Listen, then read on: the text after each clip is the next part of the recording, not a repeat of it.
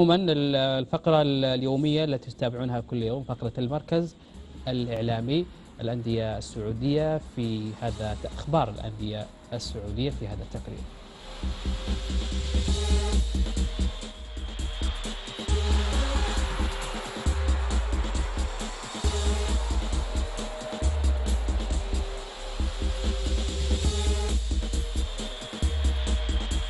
في الشباب. أدى الفريق الأول لكرة القدم بنادي الشباب تدريباته مساء اليوم السبت على ملعب استاد الأمير خالد بن سلطان تحت إشراف المدير الفني ميشيل برودوم. بدأت التدريبات بتمارين اللياقة بقيادة مدرب اللياقة السيد رينات بليبارت من جهته اكتفى المدرب إيميليو فيريرا بفرض تمارين استرجاعية للاعبين المشاركين في مباراة الأهلي يوم أمس الجمعة. فيما قسم باقي اللاعبين إلى عدة مجموعات لتطبيق عددا من الجمل التكتيكية. من جهة أخرى واصل لاعب الفريق الأول عبد الله الأسطى مساء اليوم السبت برنامجه التأهيلي باللف حول الملعب. في الاتحاد أظهرت الفحوصات الطبية التي أجراها لاعب الفريق الكروي الأول. سلمان الصبياني حاجته لإجراء عملية جراحية في عضلات أسفل البطن وسوف يتم إجراء العملية خلال الأيام المقبلة. من جهة أخرى واصل الفريق الكروي تحضيراته لمواجهة فريق الفيصلي يوم الاثنين المقبل. في الفتح واصل الفريق الأول لكرة القدم بنادي الفتح مساء اليوم السبت تدريباته المسائية على ملعبه الرئيسي بالأحساء استعدادا لمواجهة الفريق المقبلة أمام الرائد في الجولة الرابعة من دوري زين.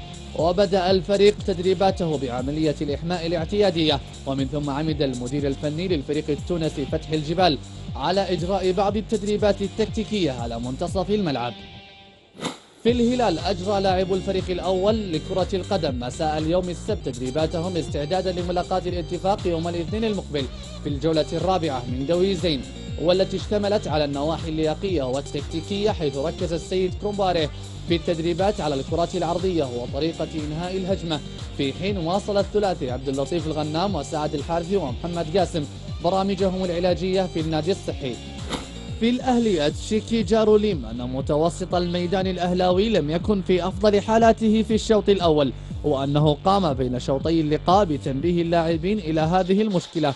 وقال الضغط الشبابي كان عن طريق الأطراف مؤكدا أنه سيسعى إلى تفادي هذه المشكلة في المشاركات المقبلة. منوها إلى أن الدفاع كانت لديه العديد من الأخطاء التي أثرت على نتيجة اللقاء. وعن المستوى الغير مقنع الذي قدمه المحترف الأرجنتيني موراليس.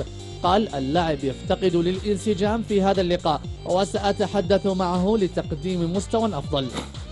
في النصر ينتظر ألا يجري ماتورانا أي تعديل على قائمة فريقه التي واجهت الاتحاد على أن يمنح فرصة لظهيري الجنب ومحوري الارتكاز للتقدم لفك طلاسم الدفاع التعاوني المتوقع يذكر أن الثنائي أحمد عباس والأوزبكي شوكت لن يتمكنا من المشاركة في المباراة في ظل عدم اكتمال شفائهما من الإصابات التي لحقت بهما وسيبقيان خارج القائمة. في الاتفاق أعلن المدرب السويسري آلين جيجر المدير الفني للفريق الكروي الأول بنادي الاتفاق اليوم السبت عن القائمة الرئيسية التي ستمثل الفريق في مباراته المرتقبة أمام فريق الهلال في مدينة الرياض مساء يوم الاثنين القادم ضمن مباريات الأسبوع الرابع لمسابقة دوري زين. في التعاون قدمت رابطة دوري المحترفين السعودي شكرها لإدارة نادي التعاون على تعاونهم وتجاوبهم السريع بشأن الموافقة على المشاركة في المباراة الدورية القادمة التي سوف تجمع الفريق التعاوني مع نظيره الفريق النصراوي في بريدة. في الفيصلي عاود الفريق الأول لكرة القدم بنادي الفيصلي تمارينهم مساء اليوم حيث أدى اللاعبون المشاركون في لقاء الأمس تدريبا استرجاعيا في صالة الحديد.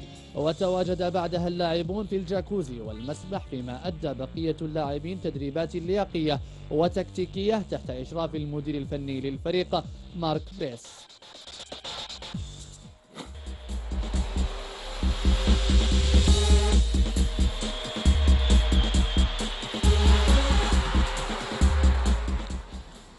هذه الفقرة المركز الإعلامي الفقرة التي سوف يكون من خلالها أخبار كل الأندية التي تصلنا طبعا كل ما يصلنا عن طريق المراكز الإعلامية في الأندية سوف تكون في هذه الفقرة. بمعنى أنه ستعرف كل شيء يخص ناديك ماذا حدث اليوم من منذ أمس وحتى بداية البرنامج. طبعا الأندية التي مراكزها الإعلامية لا تتفاعل بشكل جيد مع الإعلام. آه، بالتأكيد لن نستطيع طبعا آه، إحنا سننقل كل ما يأتي عن طريق المراكز الإعلامية، اليوم في أندية ثلاثة أو أربع أندية المراكز الإعلامية لم ترسل شيء، إحنا سنتعامل مع ما سيصلنا في هذه الفقرة بالذات مع المراكز الإعلامية وبالتالي أخبار كل الأندية إن شاء الله في يوم من الأيام تكون 14 نادي في تقرير آه، واحد.